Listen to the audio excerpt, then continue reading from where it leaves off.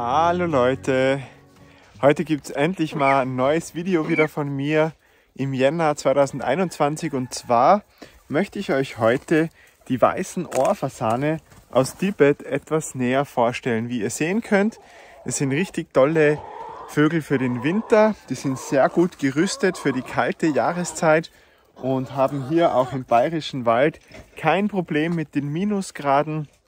In ihrer Heimat Tibet steigen sie ja auf über 4000 Meter Seehöhe hinauf und leben auch dort oft in Siedlungsnähe, lassen sich zum Beispiel von Mönchen in den Bergklöstern anfüttern und das schon seit vielen Jahrzehnten, Jahrhunderten. Also das hat dort auch schon eine gewisse Tradition und vielleicht erklärt das auch, warum die weißen Ohrfasane sich auch hier bei uns im bayerischen Wald so gut als Hausgeflügel machen und eigentlich dabei sogar zutraulicher sind wie so manches echte Hausgeflügel, zum Beispiel die oft sehr schreckhaften und nervösen Berlhühner. Der weiße Ohrfasan zählt zur Gattung Grossoptilon, von der man insgesamt mindestens vier Spezies unterscheidet. Er gilt als potenziell gefährdet, denn viele Populationen in seinem Verbreitungsgebiet werden kontinuierlich kleiner, vor allem durch Bejagung. Ein interessantes Merkmal des weißen Ohrfasanes ist sein fellartiges Gefieder, das fein zerschlissen wirkt und manche auch an das Federkleid von Seidenhühner erinnert. Das ist eine Anpassung an die Kälte, denn die Ohrfasane steigen auf über 4000 Meter Seehöhe hinauf, besonders in Tibet. Ohrfasane fliegen nicht sehr gerne und wenn dann am liebsten hangabwärts. Lieber klettern sie oder hüpfen und springen auch von Ast zu Ast oder Stein zu Stein.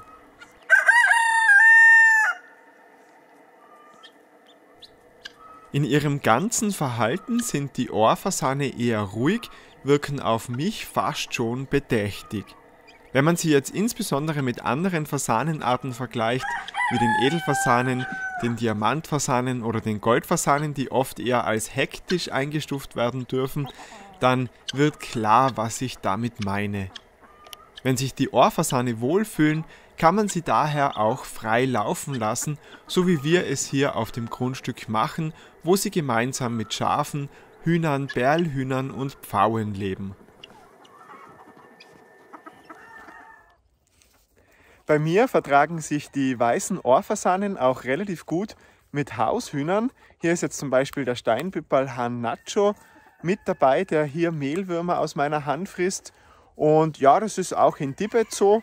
Also wenn man da mal so googelt, wie es denn aussieht, wie die weißen Ohrfasanen in den Bergklöstern leben, dann laufen die da oft auch sehr äh, gemischt mit anderen Geflügelarten rum und eben auch mit Haushühnern. Der Ohrfasan gehört zur Ordnung Galliformes, ist also ein Hühnervogel. Und ja, jetzt schauen wir uns mal eine andere Ohrfasanenart an, nämlich den blauen Ohrfasan, der vielen von euch vielleicht noch mal deutlich bekannter ist als der weiße. Ein weit verbreiteter Irrtum ist es, dass der weiße Ohrfasan lediglich eine weiße Zuchtform vom blauen Ohrfasan wäre. Tatsächlich handelt es sich aber um zwei völlig verschiedene Wildformen die sich auch in ihrem Körperbau unterscheiden. Der blaue Ohrfasan hat zum Beispiel deutlich stärker ausgeprägte Ohrenbüschel als der weiße, was man hier jetzt gut erkennen kann. Blaue Ohrfasanen lassen sich sehr gut nachzüchten und werden von vielen europäischen Fasanenliebhabern erfolgreich gehalten und vermehrt. Im Gegensatz zum weißen Ohrfasan bilden sich im Schwanzgefieder des blauen Ohrfasans zwei stark gefranste, zerschlissene Hauptsicheln heraus, die hier gut zu sehen sind, da sie auch höher stehen als der Rest des Schwanzgefieders. Weiße Ohrfasane können im Grunde genommen genau gleich wie Hühner gehalten werden. Sie lernen auch wie das andere Federvieh nachts in einen sicheren Stall zu gehen, wo sie zum Beispiel vor Marder und Fuchs auch in Sicherheit sind. Unsere weißen Ohrfasane mögen es aber auch tagsüber gemischt mit den Hühnern rumzulaufen oder auch mal irgendwo am Zaun oder auf Ruheplätzen aufgebäumt zu rasten. Und gerade mit den Yokohamas vertragen sie sich wirklich prächtig, vielleicht auch, weil der Charakter der Yokos den Ohrfasanen doch recht entgegenkommt. Es sind auch recht ruhige Hühner. Die Ohrfasane können, wenn sie mögen, natürlich auch auf erhöhte Positionen fliegen, sind uns bisher aber noch nie abgehauen. Natürlich haben wir die weißen Ohrfasane nicht einfach geholt und dann freilaufen lassen, also das muss schon mit ein bisschen Gefühl und Gespür passieren. Wir haben sie vorsichtig an das andere Hausgeflügel gewöhnt, indem wir mitten im Hühnerhof ein Fasanengehege errichtet haben.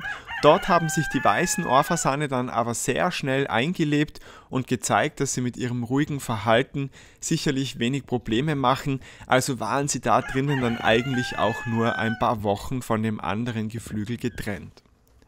Relativ problemlos ist auch die Ernährung des weißen Ohrfasanes. Allerdings fällt mir da auf, dass viele es sich da auch schon wieder zu einfach machen. Er ist hauptsächlich Vegetarier, möchte Wurzeln, Knollen, Grünzeug, Blätter, Nadeln und ähnliches fressen, Sämereien und Getreide bilden in der Natur nur einen kleinen Anteil seines Menüplans. Hier picken die weißen Ohrfasanen auch an einem gefrorenen Apfel, was die Hühner zum Beispiel nicht machen würden.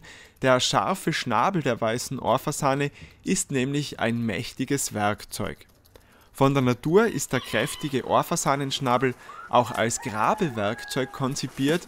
Sie graben nämlich eben auch nach Pflanzenwurzeln und Knollen Darum macht es ihnen auch so richtig Spaß, wenn man ihnen mal Grassoden samt Erdreich und Wurzeln in eine Foliere gibt zum Zerpflücken.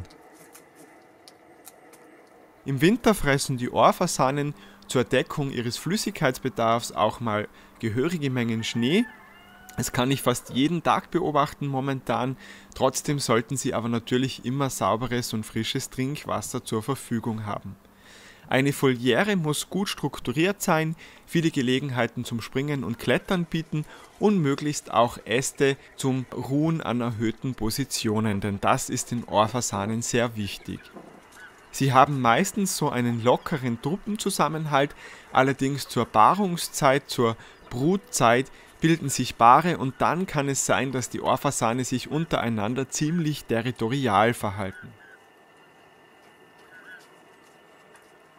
Die Unterscheidung der Geschlechter ist insbesondere im Jugendalter nicht ganz unproblematisch, männliche Exemplare haben aber in der Regel stärker ausgeprägte rote Gesichtsmasken, deutlich rötere Läufe und oft auch einen stärker ausgeprägten Sporn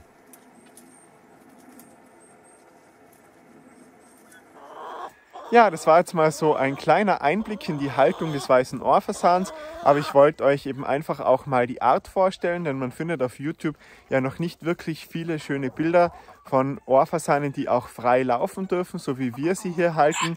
Denn gerade das ist ja das Schöne an den Ohrfasanen, dass man sie nicht wie viele andere Fasanenarten einsperren muss. Jetzt hat man auch gerade was Witziges gesehen, da keine Steinpipalhahn hat den weißen Ohrfasan angebeizt. Das ist insofern lustig, weil wir haben momentan nur sechs Hähne von den weißen Ohrfasanen, haben da extra einen DNA-Test sogar machen lassen. Also da hat er nicht viel Chancen. Bestimmt kommen jetzt von euch wieder die Fragen in den Kommentaren, ob Haushühner sich mit Fasanen kreuzen können. Also vom Edelfasan, Jagdfasan ist es bekannt. Vom Ohrfasan kenne ich bisher keine Hybriden.